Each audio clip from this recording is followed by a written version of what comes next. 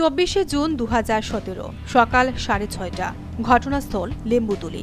রাজনৈতিক বাকপিতণ্ডার সূত্র ধরে প্রতিবেশী বিরুলাল সরকারকে দা দিয়ে কুপিয়ে রক্তাক্ত করে তারই প্রতিবেশী কালীপদ রায়। এই ঘটনার পর বিশালগড় থানায় খুনের মামলা দায়ের করা হয় মৃত বিরুলালের পরিবারের পক্ষ থেকে।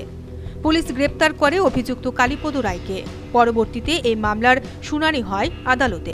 দীর্ঘ সাক্ষ্যবাক্য গ্রহণের পর শুক্রবার এই মামলার বিশালগড়ের এডিশনাল সোশ্যাল জাজ রায় ঘোষণা করেন। বিচারক খুনিকে যাবজ্জীবন কারাদণ্ডের নির্দেশ দেয়। সরকারি আইনজীবী জানান, এডিশনাল সোশ্যাল জাজ শুক্রবার এই মামলার রায় ঘোষণা করেন এবং খুনি কালীপদ রায়কে যাবজ্জীবন কারাদণ্ডের নির্দেশ দেন। আজকে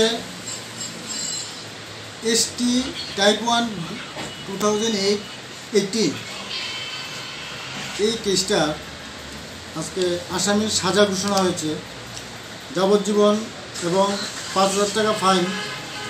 ইন ডিফল্ট, মোট ফাইভ মান্থস ইমপ্রিজনমেন্ট এই মামলাটা দুই হাজার সতেরো সালের চব্বিশে জুন সকাল ছয়টা তিরিশ মিনিটে কালীপদ রায় পার্শ্ববর্তী বাড়ির বীরলাল সরকারকে ধারালো দাও দিয়ে কুপিয়ে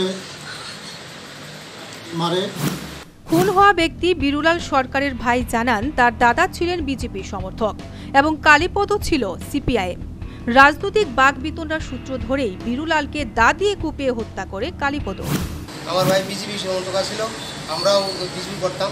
তো ওই ইলেকশনের আগে দুই হাজার সতেরোতে একদিন সকালবেলা আমার বাইরে আগের দিন রাত্রেবেলা গালিগালাজ করছে তখন আমার ভাই সকালবেলা চা খাইতে দিয়ে আর জিজ্ঞাসা করছিল যে আমার কেন তুই কালকে গালিগালাজ করছি করছিলি? বাস এই কথা কোয়ার পরে ঘর থেকে দাউ নিয়ে এসে বাইরে কুয়াইয়া মেরে গেছে কে মারছিল? কালীপদ রায়। তাই নিয়ে কি পার্টি করতো? সিপিএম করতো। আচ্ছা।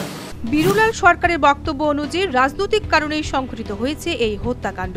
যদিও তদন্তকারী পুলিশ এই ধরনের কোনো কিছুই উল্লেখ করেনি, আদালতে জমা করা চার্জশিটে। বিও রিপোর্ট, নিউজ ভ্যানগার্ড।